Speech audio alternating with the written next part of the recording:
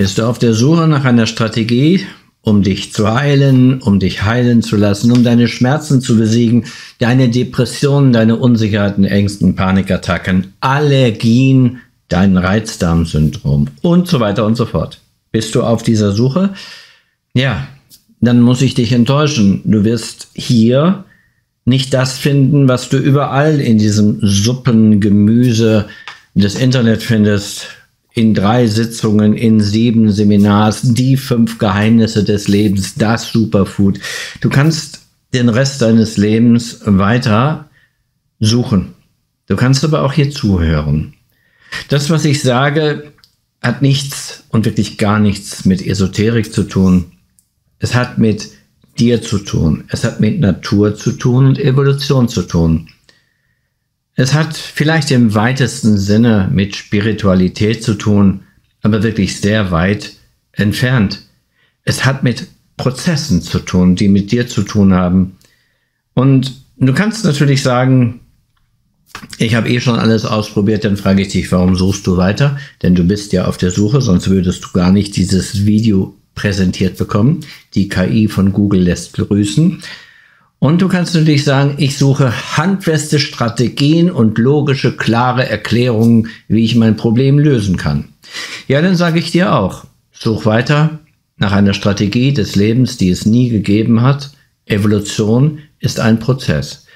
Und natürlich gibt es sehr viele wunderbare Guru-Erklärungen. Es gibt sehr schöne Theoretiker, die da draußen in sehr schönen harmonischen Worten dir dein Problem erklären können, wo du dich aufgehoben fühlst in der Erklärung, die dir aber nicht wirklich klar machen können, wie du es wirklich löst. Du kriegst allgemein nur Erklärungsmodelle geliefert, die dich irgendwie wie in einem Kanal zu dem Fliegenfänger hinführen, damit du dort irgendwo ein 6000 Euro Seminar buchen sollst, das du natürlich im Vorfeld erstmal umsonst kennenlernen kannst beim gemeinsamen Meeting Du kriegst jede Menge Hinweise und Informationen, damit etwas verkauft wird, digitalisierte Ware. Und digitalisierte Ware lässt sich deshalb so gut verkaufen, weil sie muss nur ein einziges Mal angefertigt werden.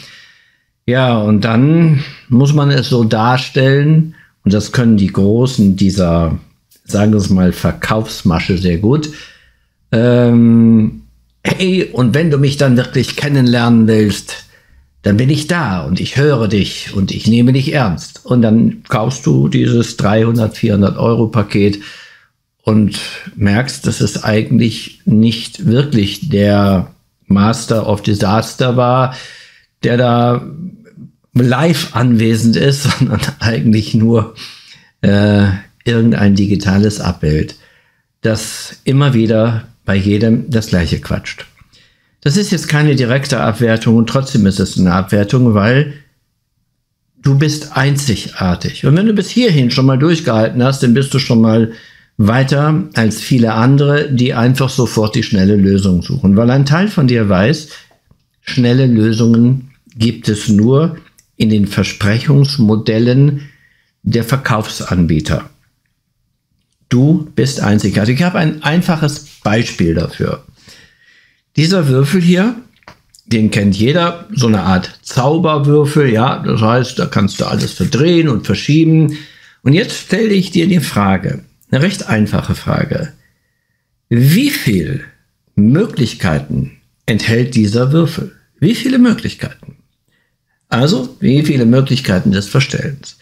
Also, ich frage meine Klienten, bei den meisten bin ich online verbunden, äh, also per Videocall. Meistens kommt sowas raus wie 100.000, 60.000, 100.000. Letztens sagte jemand mal 160 Millionen, so ähnlich wie beim Lotto. Das ist seltener. Und trotzdem ist es noch falsch. So ein Würfel besteht aus sechs Seiten und der hat zu 100% mit dir zu tun. Sechs Seiten, mehr nicht und 26 Bausteine. Und alleine diese sechs Seiten und 26 Bausteine ergeben rein mathematisch berechnet, kann man überall nachlesen, äh, ungefähr, was waren das, 43 Trillionen Variablen. 43 Trillionen. Das heißt, wenn du kein System, also 43 mit 18 Nullen hinten dran, also eine gigantisch große Zahl, Billionen, Billiarden, Trillionen. Und wenn du also keine Strategie hast, dann wirst du diesen Zauberwürfel, wenn er einmal ordentlich verstellt wurde, nicht lösen können. Nur mit einer Art Strategie. Es gibt Menschen, die lösen diesen Zauberwürfel, egal wie er verstellt wurde, in maximal 20 Schritten unter vier Sekunden. So schnell kannst du gar nicht gucken, wie die das Ding verdrehen. Und ich will den jetzt nicht verdrehen, weil ich habe die Strategie nicht gelernt. Dann ist er futsch, dann kann ich mir einen neuen holen. Äh, ich habe keine Lust, mich mit dieser Strategie auseinanderzusetzen. Warum ist er wichtig, dieser Würfel? Immer noch. Du bist dieser Würfel. Aber du bist nicht ein totes Stück Materie. Und allein dieses tote Stück Materie hat bereits 43 Trillionen Verstellmöglichkeiten. Und wenn du diese Strategie des Lösens nicht kennst, wirst du mit hoher Wahrscheinlichkeit ihn niemals wieder in die Ausgangsposition zurechtbringen können. Die Strategie ist das Entscheidende. Und natürlich gibt es verschiedene Strategien, aber der Würfel kann also in 43 Trillionen Stellungen dir überreicht werden und jetzt musst du eine Lösung finden. Jetzt stell dir vor, du wärst ein Therapeut, ein Coach. Und jetzt kommt ein Mensch zu dir. Ein verstellter Würfel. Ja? Ein Mensch. Aber der hat ein paar mehr Verstellmöglichkeiten, der Mensch, als 43 Trillionen. Denn er hat ja Geschichten in sich. Aber da komme ich später drauf. Und ich möchte jetzt nicht sagen, wenn du bis zum Ende des Videos durchhältst, dann wirst du die ultimative Wahrheit hören. Herrgott, das hört man ja schon fast überall, gebetsmühlenartig. Natürlich ist es wichtig, dass du durchhältst, weil sonst wird anderen das Video nicht so schnell gezeigt. Aber das entscheidest du selbst. Ich habe eine Wahrheit für dich, die ist in vielen meiner Videos bereits enthalten. Eine Wahrheit, die so ähnlich ist wir sind auf der Scheibenerde und die Erde ist in Wirklichkeit rund. So, und das muss man erstmal schlucken, diese Kröte. Wir sind immer noch bei den Würfeln. Wenn also du wärst ein, du wärst jetzt ein Coach, ein Therapeut, jetzt kommt jemand zu dir hin und sagt, ich habe dies und jenes Problem. Okay, jetzt kannst du eine Strategie benutzen. Eine Strategie, wenn du sie gelernt hast, dass du in circa 20 Zügen zum Ziel kommst. Was aber ist, wenn dieser Mensch zu dir kommt und der Würfel gar nicht nur verstellt wäre, sondern teilweise demontiert, zerstört oder außerhalb jeder Strategiemöglichkeit falsch zusammengebaut, dass deine Strategien nicht funktionieren, lieber Coach und lieber Therapeut. Was würdest du dann machen? Ja, dann versuchst du trotzdem, deine Regeln durchzusetzen, die du gelernt hast. Das ist leider ein Fehler. Und jetzt mache dir nochmal klar, dein Gehirn besteht aus Gehirnzellen. Also Zellen, Systemen, das ist ja auch eine Art System. Aber eine einzige Gehirnzelle kann bereits mit bis zu 10.000 anderen Gehirnzellen kommunizieren. Kannst du nicht, kann ich nicht. 10.000 anderen Zellen kommunizieren, sich austauschen. Und eine Körperzelle, jetzt sind wir wieder bei den Würfeln, besteht nicht aus 26 Bauteilen, sondern Bausteinen, sondern aus Hunderten von Millionen Prozessen, Bausteinen. Und genau da setze ich an in all meinen Erklärungen. Niemand kennt das Gehirn. Niemand kennt wirklich die Grundlagen, die unser Gehirn benutzt, um sich selbst zu entwickeln, sich selbst zu entfalten und dieses Gefühl von Leichtigkeit und Lebendigkeit, so wie wir es gerne uns wünschen, wahrnehmen zu können. Niemand weiß das wirklich. Und wenn wir jetzt uns eine Psychologie angucken, nennen wir sie mal eine typische gesetzliche äh, Psychologie, gesetzlich sage ich damit, das heißt die, die vom Gesetzgeber, also damit von Gutachtern und Ähnlichen unterstützt wird. Das sind die paar psychologischen, nennen wir es mal, Eckpunkte, die wir so kennen. Verhaltenstherapie, Tiefenpsychologie, Gesprächstherapie und so weiter und so fort.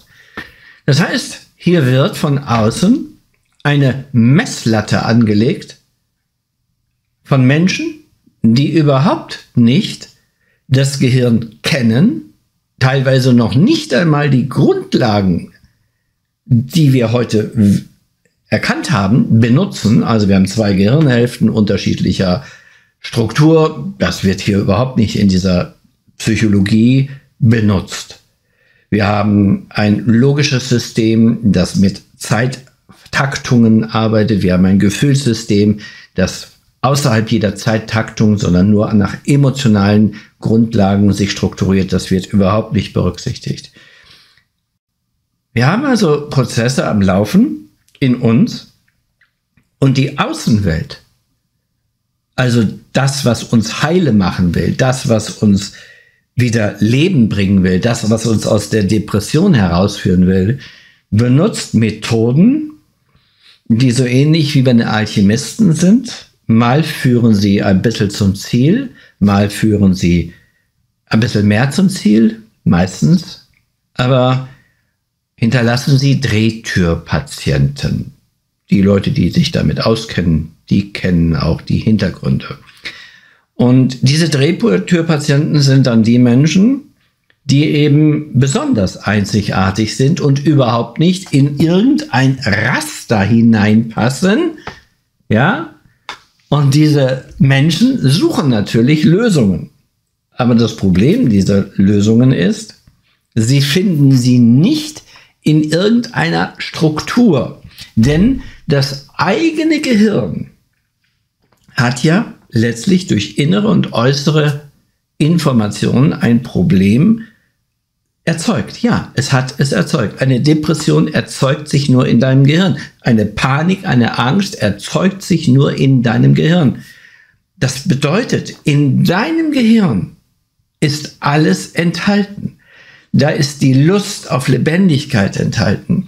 Da ist das Gefühl der tiefen Abgründe in dir enthalten. Da ist der Wunsch nach Leben enthalten. Da ist aber auch die tiefe Dunkelheit, der Schmerz und der, die Angst enthalten. Also alles ist in deinem Gehirn. Es ist da drin.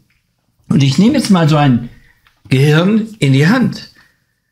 Wenn dieses Gehirn das alles enthält, die Vergangenheit, die Gegenwart, die Zukunft, alles enthält dieses Gehirn, also all deine Geschichten, dich erzeugt. Jetzt sagst du, hallo, ich bin doch nicht, ich bin mein Gehirn, habe ich ein Video zu gemacht, du bist nicht dein Gehirn.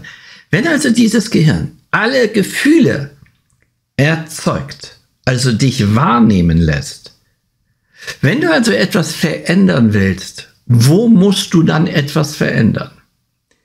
In dem logischen Strategiesystem, du bist ein Würfel, ich habe eine Strategie, wie ich dich wieder heile kriege. Oder ich nehme jetzt hier mal mein Multitool. Die, die es noch nicht kennen aus meinen Videos, kurze Erklärung. Symbolisch bist du hier oben, das Bewusstsein. Diese Kugel ist das Ich-System, das alles repräsentiert, aber in dem Ich-Gefühl. Also ich nehme den Raum wahr, ich nehme die Kamera wahr, die mich aufnimmt. Ich weiß, dass die Kamera mich nicht frisst, weil ich das gelernt habe. Wäre ich im Urwald groß geworden, würde ich da gar nichts mit anfangen können. Dieses Ich-System der Gegenwart wird gefüttert aus den Erfahrungen meiner Vergangenheit, die Strukturen. Es sind Strukturen. Aber ab einem gewissen Bereich meines inneren Systems, meines inneren Gefühls- und Bewertungssystems sind es nur noch Informationen, die in bestimmten Strukturen, bestimmten Archiven, bestimmten Räumen sozusagen in uns gespeichert sind. Und diese gespeicherten Informationen, die sind nicht mehr strukturierbar wie so ein Zauberwürfel. Da kannst du eine Strategie haben. Aber mit der kommst du hier unten nicht klar. Warum nicht? Weil das, was hier unten ist, ist nicht mehr logisch. Es enthält nicht die Logik der Gegenwart. Es enthält nicht die Logik eins und eins ist zwei. Das, was du siehst, ist letztlich eine Art Illusion. Es ist längst bekannt, zumindest in der sich dafür interessierenden Fachwelt, dass wir niemals die Wirklichkeit sehen. Wir sehen nur, sagen wir es mal, das, was unser Gehirn uns sichtbar erscheinen lässt. Und das wirst du auch bei vielen, sagen wir es mal, optischen Illusionen erkennen können. Das, was unser Gehirn sichtbar erscheinen lässt, das kannst du sehen. Was anderes nicht. Der einfachste Beweis ist dein blinder Fleck im Auge. Also jedes Auge hat einen blinden Fleck, da wo die sozusagen die, der Nerven, der Nerv, der Sehnerv in die Sehrinde hinein, aus der Sehrinde heraus ins Auge hineingeht, also in die Sehzellen.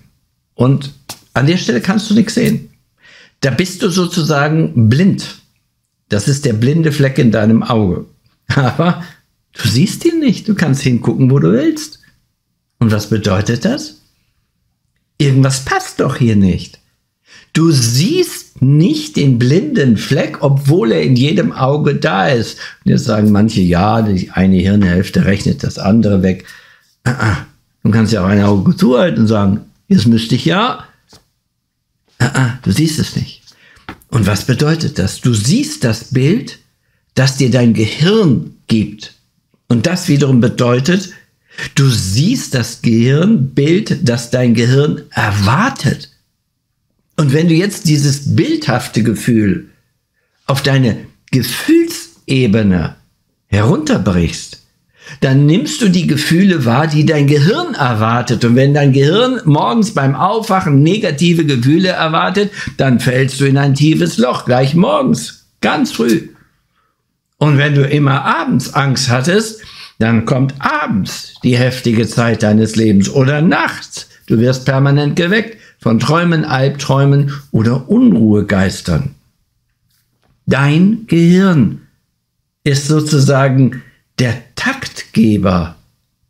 Und dieser Taktgeber unterliegt nicht den Worten, so wie wir es kennen. Denn sonst, was habe ich ja mal schon mal gesagt, dann gehst du in dein Gehirn rein und sagst, hallo Gehirn, mach mal die Angst weg, die brauche ich nicht, die ist unlogisch. Ja, ich bin jetzt hier in Friede, Freude, Eierkuchen und fühle mich sicher. Vergiss es. Das geht nicht. Das geht nur dann, wenn, jetzt nehme ich wieder mein Multitool, wenn das Problem, das Bewusstsein hier oben, dein Problem sozusagen nach der Prägungszeit entstanden ist. Die Prägungszeit ist so 0 bis 3 Jahre alt, circa. Das heißt, Autounfall, Raubüberfall, du bist Opfer eines, was weiß ich, Einbruchs geworden oder du hast Menschen verloren und das tut sehr weh. Da kann man mit Glocki, glocki, glocki, ich gehe in mein Gehirn rein, mit ein bisschen Gesprächstherapie, Verhaltenstherapie und Tiefenpsychologie kann ich das Thema lösen. Weil ich über Worte versuche, eine logische Struktur zu finden und diese logische Struktur sorgt dafür, dass sich hier in dieser Welt der logischen Strukturen etwas neu vernetzt. Wir könnten auch sagen in der Großhirnrinde.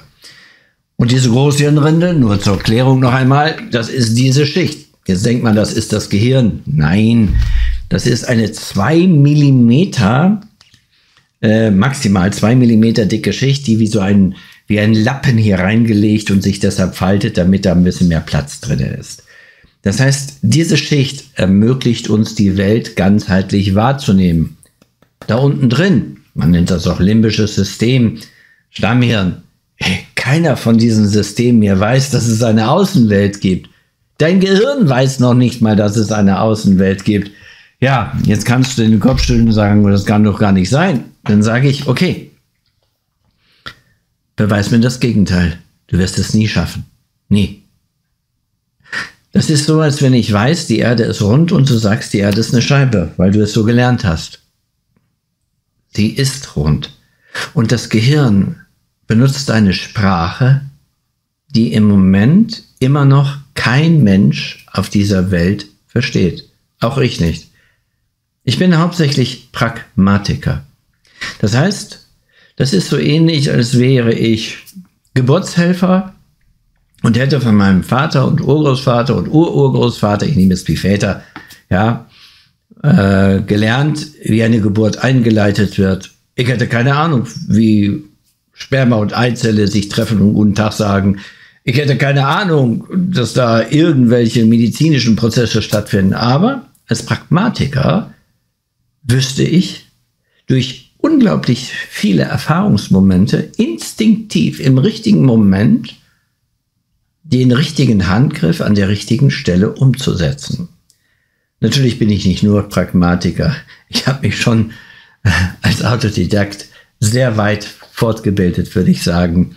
Aber auch fort von dem schulmedizinischen System, weil es trennt Körper und Geist. Und Körper und Geist kann man nicht trennen. Das weiß die moderne Hirnforschung.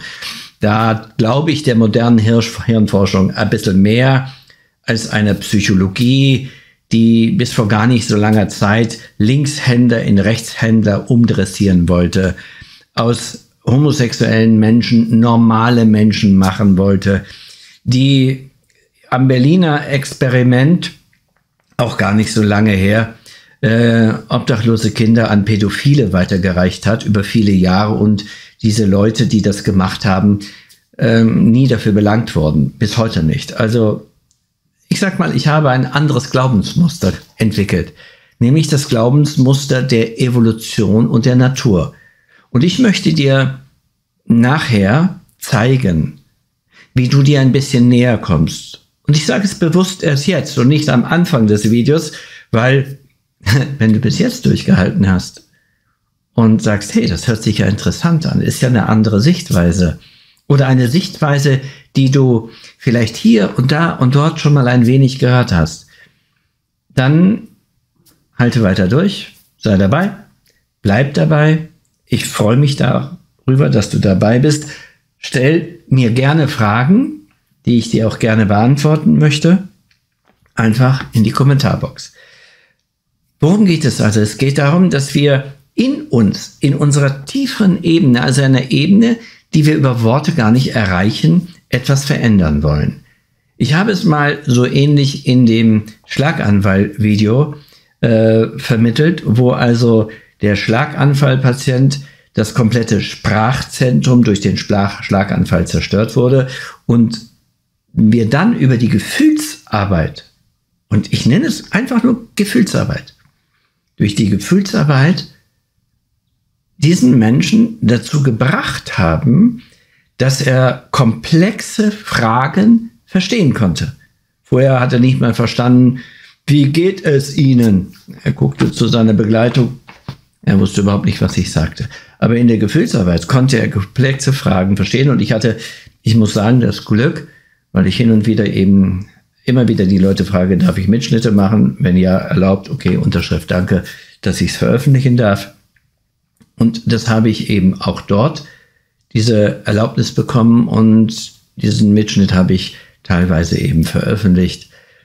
Er zeigt, dass etwas möglich ist, was aus der schulmedizinischen Ebene überhaupt nicht möglich wäre. Und ich möchte dir Stück für Stück in meinen Videos, Aufklärungsvideos näher bringen, was eigentlich es bedeutet, fühlen, denken, wahrnehmen, was diese gigantische Teamarbeit bedeutet. Ja, sie bedeutet nicht, dass ich hier irgend so einen Zauberwürfel habe und dann mit einer bestimmten Strategie etwas umsetze. Das kannst du machen, wenn du einen Beruf erlernst. Das kannst du machen, wenn du in der Schule eine Sprache erlernst. Strategisch arbeiten. Aber mal ganz einfach, hast du schon mal versucht, strategisch Liebe zu fühlen? strategisch Vertrauen zu fühlen, strategisch Angst wegzumachen, die einzige Strategie, die ich da kenne, die die meisten Menschen anwenden, ignorieren, ich rede ja eine akute Angst, ignorieren, wegtrinken, also Alkohol, Tabletten, äh, ablenken mit Arbeit, Ja, oder sich permanent auf die Brust oder aufs Hirn klopfen, Affirmationen wegzittern, ja, Subliminals habe ich auch schon was zu erzählt, oder sich irgendwelche schönen höheren Geister vorstellen. Das hilft. Das sind alles Prozesse, die für den Moment das Gefühl verändern. Aber nur für den Moment meistens. Dieses Gehirn wird von den allermeisten Menschen unterschätzt und das Bewusstsein wird von den allermeisten Menschen überschätzt. In einem Film, den ich sehr schätze, Matrix, das ist so ähnlich wie Platons Höhlengleichnis. Das heißt, eine Illusion, eine Umgebung, die geglaubt wird. Und dazu habe ich eine kleine Liste von herrlichen Filmen gemacht. Starke Filme ist auch unten in der Infobox verlinkt die ähnliches immer wieder deutlich machen, die Truman Show. Du kannst nur lernen, was man dir beibringt. Und wenn man dir beibringt, dass du an Gott glaubst, dann glaubst du an Gott. Wenn du zehn Meter daneben geboren wirst, dann glaubst du an, hm, was weiß ich, den heiligen Binnenbaum, Konfuzius oder den heiligen Bandwurm. Das sind keine Abwertungssysteme, es sind Fakten aus der Evolutionspsychologie. Und ich möchte dir einfach nur vermitteln, dass die Welt anders funktioniert, weil wenn du das für dich verinnerlichst, dann spürst du, dann merkst du eigentlich, dass die gesamten Bewertungen, die gesamten Abwertungen, die du irgendwo erfahren hast und die du heute immer noch in dir fühlst und spürst, dass diese mit dir erst einmal nur so viel zu tun hatten, wie das Beispiel, das ich dir jetzt gebe. Du flutscht auf die Welt und bist ein fühlendes Wesen. Mehr nicht. Und in den ersten sechs Monaten nimmst du die Welt nur, sagen wir mal, strukturiert wahr, ohne zu wissen, dass du es wahrnimmst. Du kannst noch nicht sprechen und trotzdem hörst du schon, wir nennen es Fehler in der Sprache, in der Grammatik. Was bedeutet das? Papa sagt, Schatz, lass uns essen gehen. Wärst du ein sechs Monate altes Baby, dann schaust du nicht hin. Ist langweilig, Struktur kennst du. Jetzt sagt der Vater aber vorher einstudiert, Schatz, essen gehen, lass uns heute. Und du schaust als Baby hin. Warum? Weil du etwas wahrnimmst, was neu für dich ist. Und daran kann man bei Babys erkennen, alles, was neu ist. Natürlich ist es in unserer Sichtweise ein Fehler. Das heißt, dieses Kind erkennt, dieses Baby erkennt eine Struktur, die neu ist, aus unserer Sicht fehlerhaft.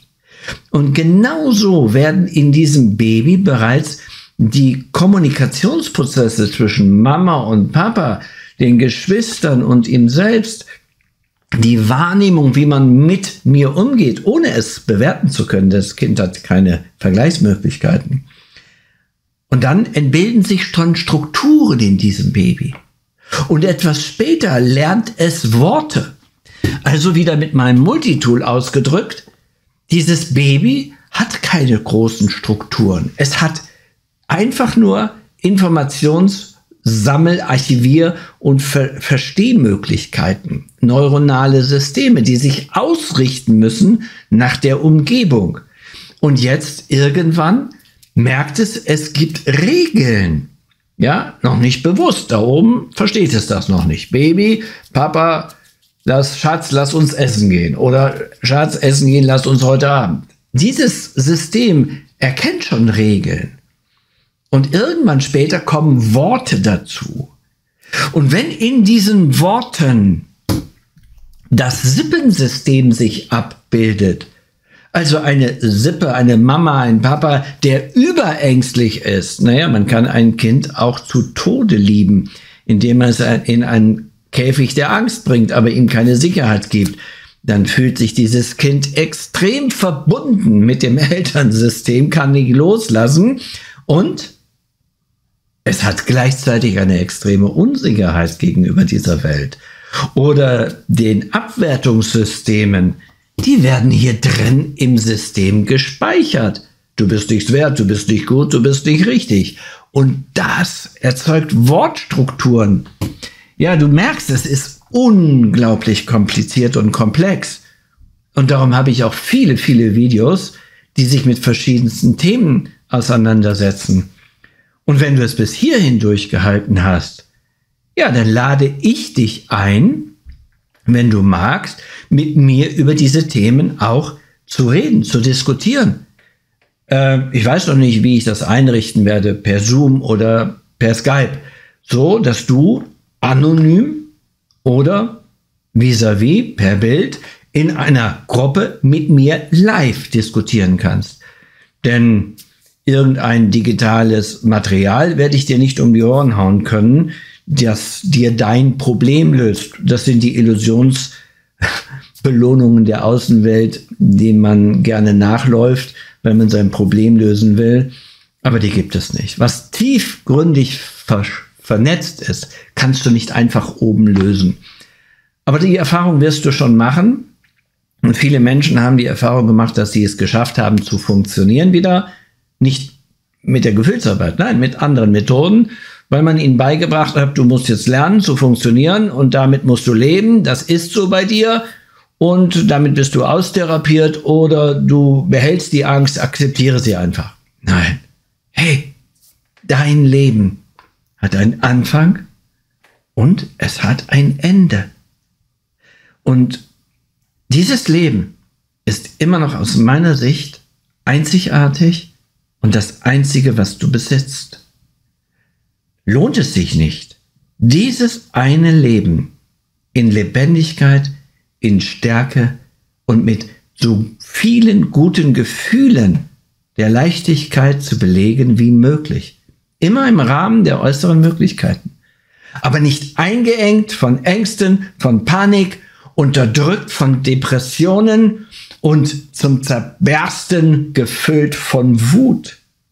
Das ist nicht dein Leben. Es ist das Leben der anderen, das in dir implantiert ist durch Regeln, durch Bewertungen, durch Abwertungen. Und all das kannst du lösen. Wie? Nun ja, ganz sicherlich nicht, indem du so ein Buch, ich will es jetzt nicht zeigen, ähm, liest und da steht, wie die Hirnforschung hilft, Angst und Panik für immer zu, zu, äh, zu besiegen. Ja, geschrieben von einem NLP- und Hypnose-Techniker, äh, der natürlich nicht schreibt, dass hier Hypnose drinne sein soll. Er beschreibt es als die einzig wahre Möglichkeit mit Affirmationen und Suggestion. Er nennt es übrigens auch nicht Suggestion, damit die Leute es gar nicht erst merken äh, sich selber besser zu fühlen. Und das Buch ist ein Bestseller geworden. Ja, gleichzeitig ist es in einer Fachzeitschrift äh, dermaßen seziert und zerfleddert und gestreddert worden, was da drin steht. Aber wie das so ist. Das Problem ist, der allermeisten Menschen, sie suchen schnelle Lösungen. Und in diesem wunderschönen Film Matrix gab es eine Szene, da sagte jemand, Menschen wollen doch gar keine Fakten wissen. Menschen kannst du am einfachsten manipulieren, indem du ihnen Träume implantierst oder Wünsche, die du erfüllen könntest, implantierst, indem du sie leitest mit schönen Worten dass sie das Gefühl haben, sie werden verstanden. Fakten sind unwichtig. Das ist schade, das ist eine Wahrheit, leider. Und das ist der Grund, warum auf Fakten basierte Information eben seltener betrachtet wird als TikTok und Co. mit seinen Hunderttausenden von Videos zur Ablenkung und den vielen Shorts. Natürlich ist es schwer, Fakten zu akzeptieren. Es war auch schwer zu akzeptieren, dass die Erde nicht der Mittelpunkt des Universums ist. Es war sicherlich auch für die damalige Ärzteschaft schwer zu akzeptieren, dass Aderlass nicht wirklich richtig ist. Aber irgendwann müssen wir es akzeptieren. Und wenn wir es lernen zu akzeptieren, dann können wir unser eigenes Gehirn benutzen. Genau das ist Gefühlsarbeit. Und ich lade dich gleich ein, dein eigenes Gehirn für dich selbst zu benutzen. Denn das System da oben drin ist komplexer als jede KI. Ja, eine KI kann wunderbar dir Texte erstellen. Gar nicht die Frage. Aber sie hat null Ahnung, in welchem Kontext diese Texte eine Bedeutung haben. Das System kann so in Bruchteilen von Sekunden Informationsinhalte strukturieren, verändern, verbinden, lösen und in neue wandeln. Und warum kann es das? Weil es evolutionär aus einer Bakterie zu einem Wurm, zu einem Insekt höherer Gattung, zu einem Wirbeltier höherer Gattung, zu einem Mensch sich entwickelt hat. Und das in circa vier Milliarden Jahre. Alles nur übrigens auch aus Bausteinen. Und wir sind wieder bei Bausteinen. Nur unsere Bausteine sind im Gegensatz zu den Bausteinen dieses Würfels deshalb lebendig, weil sie mit den Elementarkräften der Natur, also elektrisch, chemische Kräfte, hier in sich arbeiten. Moleküle, Molekülgruppen, die so komplex sind, dass sie in ihrer Komplexität eine Zelle ja, erstellen. Denn jede Körperzelle, die du hast, die noch so lebendig sein mag, besteht nur aus toten, leblosen Molekülen. Oh, das will ich gar nicht wissen. Das will ich gar nicht wissen. Ist aber so. Ich weiß, ich komme so ein bisschen von Höchstchen auf Stöckchen. Trotzdem ist die Richtung passend. Komplexität, das ist der Weg. Man muss ein bisschen davon erkennen, nicht alles verstehen.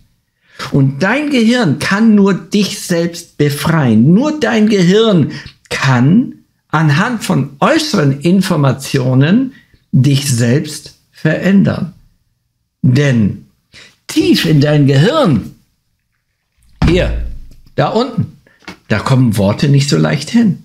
Sie kommen schon hin, aber sie haben da andere Bedeutung. Das heißt, die Bedeutung der Worte ist hier eine andere als dort, wo wir sie bewusst in der Gegenwart wahrnehmen. Denn hier unten, in der Tiefe des Gefühls, ist es die Symbolhaftigkeit, die eine Bedeutung hat. Und diese Symbolhaftigkeit ist tief in dir verankert. Manche nennen es Archetypen. Ich würde es gar nicht Archetypen nennen, weil es sind deine Geschichten, deine Grand Canyons, deine Geschichten, in denen die Flüsse deines Lebens sich entwickeln. Und wenn in diesen Geschichten fehlerhafte Pläne, fehlerhafte Regeln waren, ja, und fehlerhaftes Baumaterial dir übertragen wurde, bitte rein symbolisch betrachten, dann versuchst du immer den Eiffelturm aus Holz aufzubauen, weil Gefühle sind unsichtbar, die kannst du nicht sehen. Das Baumaterial, symbolisch Gefühle, kannst du nicht sehen, du benutzt es immer wieder und du merkst nicht, dass du falsche Wege gehst. Aber dein Körpergefühl in dir zeigt es ja. Dein Körpergefühl aus deiner, sagen wir es mal, emotionalen Hirnhälfte. Symptome sind häufig projizierte Körperwahrnehmungen wie Botschafter. Und ein Körpergefühl, also eine, ein Herzrasen, eine schmerzhafte Verspannung, ein Reizdarm, all diese Prozesse können biologischer Natur sein, natürlich, aber bei psychischen, psychosomatischen Mustern sind sie nur Botschaftersysteme. Sie zeigen, im Innern stimmt etwas nicht. Symptome sind sowieso immer nur Endergebnisse und Endresultate. So wie dieser Würfel, wenn er verstellt ist, ist nicht stimmig. Das ist das Symptom. Also muss ihn jemand verstellt haben. Und vielleicht ist das nicht mit Worten geschehen, sondern durch Handlungen geschehen. Durch Virenangriffe, durch Bakterien, ja, durch einen Knochenbruch, ja, durch eine Narbe, eine Operation, ja, alles möglich. Aber die, die merken, dass es in einem, nennen wir es, psychogenen Umfeld geschieht, die spüren, zu bestimmten Zeiten habe ich die Symptome mehr und zu bestimmten Zeiten und in Abhängigkeiten weniger. Das sind sehr gute Hinweise, dass da was auf der inneren Emotionsebene nicht stimmt. Hier jetzt meine Einladung und abschließend noch eine kurze Erklärung. In dem Moment, wo ich etwas an oder in mir wahrnehme, ich nehme jetzt mal ein einfaches Beispiel, ich nehme Herzrasen wahr. Okay, und wir gehen immer davon aus, das ist selbstverständlich, das ist ein reiner Haftungshinweis, dass du alles vorher schulmedizinisch abgeklärt hast. Denn dafür ist die schulmedizinisch, die Schulmedizin richtig und gut.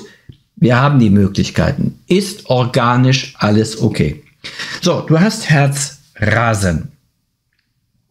Herzklopfen, Herzrasen, egal wie. Dann setzt du dich bitte hin versuche alles, was du außen hörst und wahrnimmst, bitte nach draußen zu schicken. Also Katze raus, Hund raus, wenn es geht, es sei denn, die lassen dich in Ruhe. Und jetzt fühlst du einfach mal in dieses Körpergefühl hinein. Du berührst dich also. Was passiert dabei? Wenn du dich bewusst mit deinem bewussten System mit deiner Hand an der Stelle berührst, wo es Aua macht oder komisch oder schmerzhaft ist, ja, Beklemmungen, egal wo, dann nimmst du eine Art Informationsverbindung auf. Es ist nichts anderes als eine Verbindung. Das bewusste System, ich könnte jetzt auch sagen, das logische System, das auf der einen Seite mehr verhaftet, strukturiert, verankert ist, verbindet sich mit dem Gefühlssystem, das auf der anderen Seite eher aktiv ist. Also du berührst dich, du nimmst dich wahr, mehr nicht. Und dann kommt natürlich dein Logiker und der sagt, jetzt muss ich fühlen, was ich da spüre. Ich will jetzt genau fühlen, was ich spüre. Mm -mm. Gravierender Fehler. Dein Logiker muss jetzt auf Deutsch gesagt, sorry, die Klappe halten. Er muss die Klappe halten. Jetzt ist der schwerste Punkt. Du sollst nur fühlen. Nur wahrnehmen und fühlen. Das heißt, hinlegen, fühlen. Damit nimmst du passiv als Beobachter ein Gefühl wahr. Denn dieses Gefühl zeigt ja, hier passt was nicht. Dein Herz rattert und zieht und klappert und viel zu schnell. Und wenn du das jetzt wahrnimmst, dann fühle hinein, aus einer Art Beobachterposition, ohne dass du etwas suchst. Das ist die schwerste Herausforderung. Spiel also nicht Drogenspürhund. Such das Gefühl, such, was ist dahinter? Oh, hatte ich eine böse Mama? Oh, hatte ich einen schwierigen Vater? Oh, hatte ich eine Mobbing-Situation? Uh -uh. Fehler. Also fühle und fühle dich. Denn das Gefühl ist eine Verbindung. Es ist nichts weiter als eine sogenannte neuronale Verknüpfung der Außenwelt. Körperwahrnehmung ist eine Art Außenwelt, ja, denn sie ist ja außerhalb des Gehirns, der Körper, die Wahrnehmung. Und sie erzeugt ja im Körper eine Reaktion. Das schnelle Herz. So, wenn du jetzt mit deinem Bewusstsein, da oben ist dein Bewusstsein, nimmst deine Patschepfötchen, legst sie hier drauf, dann fühlst du etwas. Dann nimmst du etwas wahr. Und wenn du offen bist, und dieses Wenn ist eben schwierig, weil ja eben viele Menschen schon sehr, sehr lange die Leiden fühlten, spürten und immer irgendwo Strategien entwickelten, ja, zu funktionieren. Denn mit Leiden alleine kommt man ja im Leben nicht weiter. Also haben sie Strategien entwickelt, meist logische Strategien, Grübeln, Denken, Funktionieren, Perfektionismus und so weiter und so fort ähm, mit dem sie versuchten, alles im Leben zu begegnen. Und wenn du dann mit diesem logisch strukturierten System dich berührst, bist du gar nicht so offen. So, und dann fühlst du ein bisschen nur hinein, was du wahrnimmst.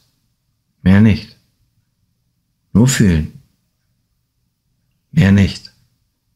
Und dann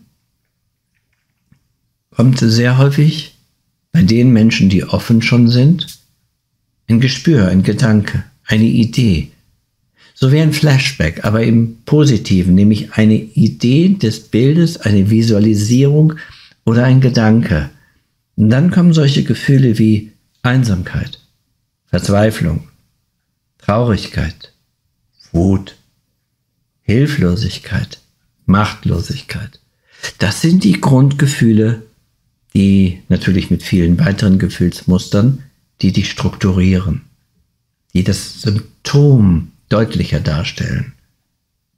Und dieses Symptom ist dann eine Art Leitsymptom. Natürlich ist es zu Hause im stillen Kämmerlein sehr schwer, mit sich zu arbeiten, alleine. Denn das ist so ähnlich wie in der Truman Show, wenn du die kennst, oder in Matrix, wenn du den Film kennst, oder in Shutter Island, wenn du den Film kennst, ohne einen irgendeinen Hinweis den Fehler im System zu erkennen. Platons Höhlengleichnis, den Fehler im System zu erkennen. Dafür brauchst du in der Regel eine äußere Unterstützung.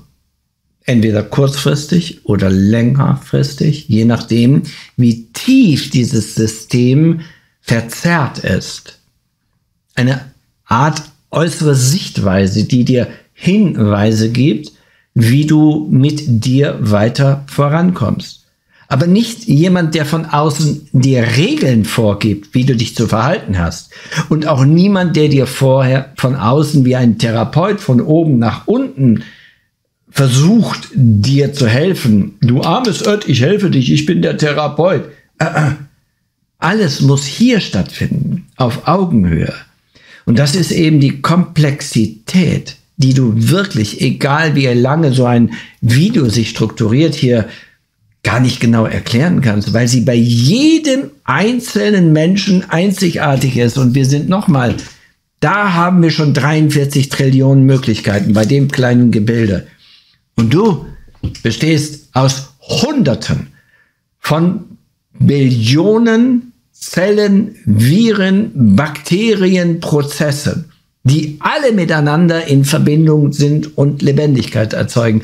Also ist, bist du so einzigartig, wie du es dir nur vorstellen magst. Es gibt keinen zweiten deiner Art.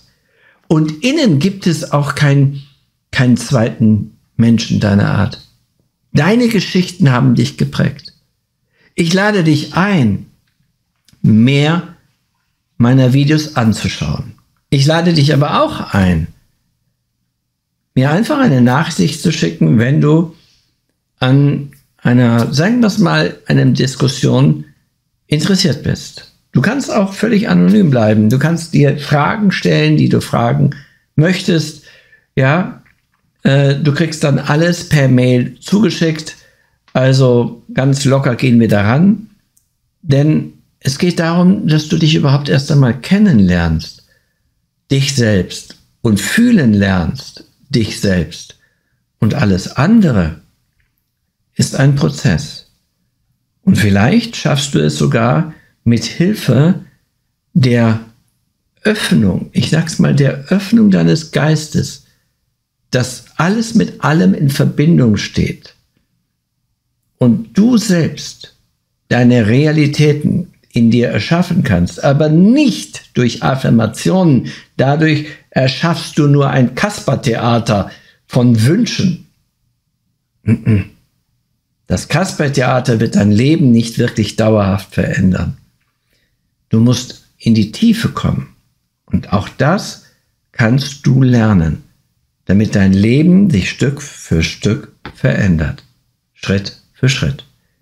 Ja, ich weiß, das war eine ganze Menge Zeugs, was ich dir jetzt so mal nebenbei übergebügelt habe. Wenn du bis hierhin dabei geblieben bist, dann bedanke ich mich wirklich recht herzlich für deine Aufmerksamkeit und schreib etwas in die Kommentare rein. Ich werde es auf jeden Fall beantworten. Und Es war vielleicht jetzt diesmal gar nicht so strukturiert zu einem Thema hin.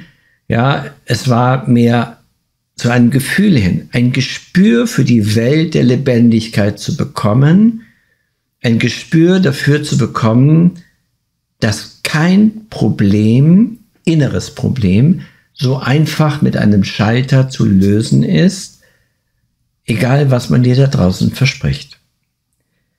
Fühl dich gehalten.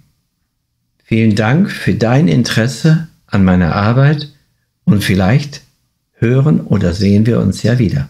Bis dahin.